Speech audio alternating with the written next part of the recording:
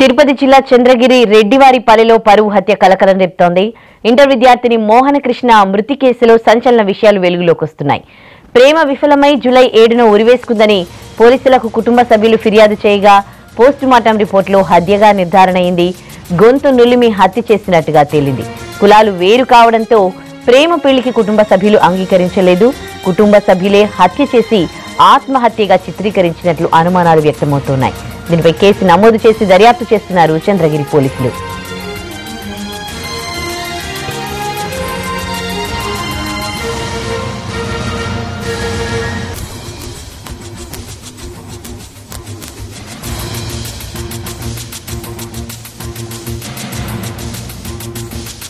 తిరుపతి జిల్లా చంద్రగిరి రెడ్డివారిపల్లిలో పరువు హత్య కలకలం రేపుతోంది. ఇంటర్ విద్యార్థిని మోహన కృష్ణ మృతికోశలో సంచలన విషయాలు వెలుగులోకి వచ్చాయి పోస్ట్ మార్టం నివేదికలో ఇది హత్య చేసినట్టుగా తెలుస్తోంది. పూర్తి డీటెయిల్స్ మా ప్రతినిధి కార్తీక్ లైవ్లో అందిస్తారు. కార్తీక్ పోస్ట్ మార్టం రిపోర్ట్ కూడా వచ్చినట్టు తెలుస్తోంది. మరి ఫ్యామిలీ మెంబర్స్లో ఎవరైనా అదుపులోకి తీసుకున్నారా?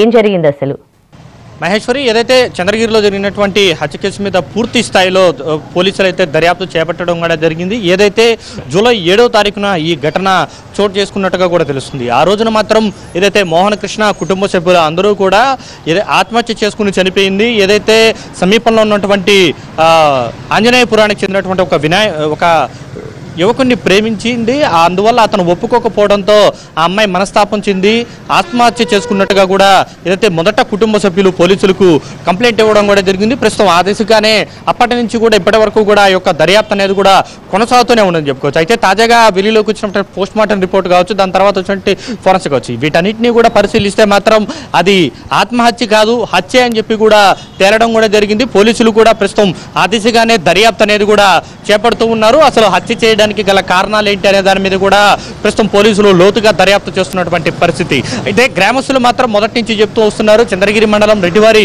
పల్లె గ్రామంలో ఆ రోజు ఈ అమ్మాయి చనిపోయిందని తెలిసిన వెంటనే కూడా గ్రామస్తులు చాలా వరకు కూడా ఈ అమ్మాయిది అనుమానాస్పదంగా ఉంది ఈ మృతి.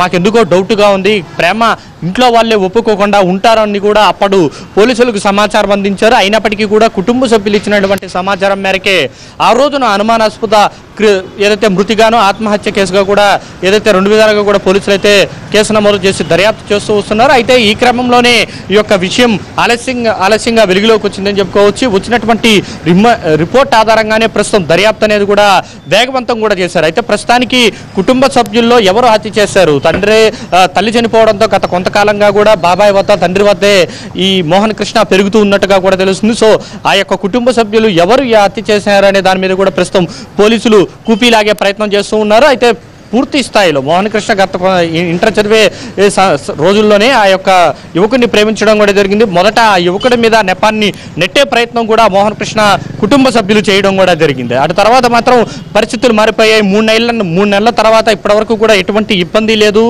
అసలు హత్య చేసినట్టు ఎవరికీ కూడా డౌట్ రాలేదనే నేపథ్యంలో వాళ్ళందరూ కూడా తిరిగి యథావిధిగా తిరుగుతూ ఉన్నారని చెప్పుకోవచ్చు. యథావిధిగా రోజువారీ కార్యక్రమాల్లో ఏదైతే కుటుంబ సభ్యులు అయితే పాల్గొంటూ ఉన్నారో అయితే బయటకు వచ్చినటువంటి ఒక ఏదైతే పోస్ట్ మార్టం రిపోర్ట్ ఆధారంగా ప్రస్తుతం ఇది హత్యగా గుర్తించినటువంటి పోలీసులు ప్రస్తుతం ఏ విధంగా దర్యాప్తు చేస్తారన్నది కూడా చాలా ఆసక్తికరంగా మారింది. ఇన్ని రోజులు కూడా ఏమీ కాదులే అన్న ధైర్యంతో యథావిధిగా రోజువారీ కార్యక్రమాల్లో పాల్గొన్నటువంటి మోహన్ కృష్ణ కుటుంబ సభ్యులు ప్రస్తుతం ఎక్కడ ఉన్నారనేది కూడా ఒక క్వశ్చన్ మార్క్ మారింది. ప్రస్తుతం ఆ యొక్క కుటుంబ సభ్యులను అదుపులోకి తీసుకునే ప్రయత్నం అయితే పోలీసులు చేస్తున్నట్టుగా కూడా తెలుస్తుంది. డిఎస్పీ స్థాయి అధికారి కూడా నిన్న రాత్రి నుంచి కూడా ఈ విషయం మీద పూర్తి స్థాయిలో ఎంక్వైరీ అనేది కూడా చేపట్టడం కూడా జరిగింది. అయితే ఏదైతే మొదట ఆ అమ్మాయిని ప్రేమించినటువంటి ప్రియుడు మాత్రం తనకు ఎటువంటి సంబంధం లేదు.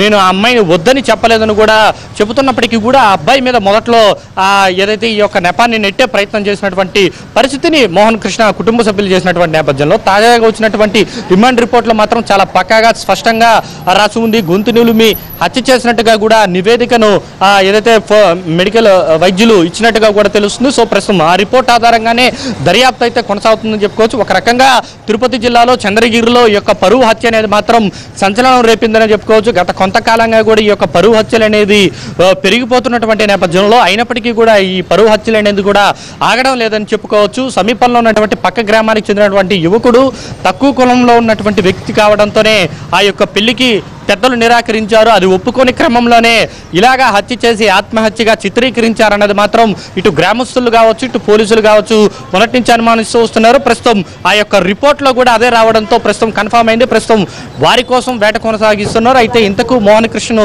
హత్య చేసింది ఎవరు? ఏదైతే తల్లి చనిపో తల్లి లేకపోవడంతో మిగిలిన కుటుంబ సభ్యులు ఉన్నటువంటి నేపథ్యంలో పోలీసులు ఆ దిశగా అయితే దర్యాప్తు అయితే చేపడుతున్నారని చెప్పుకోవచ్చు. Maheshwari court. Right thank you Karthi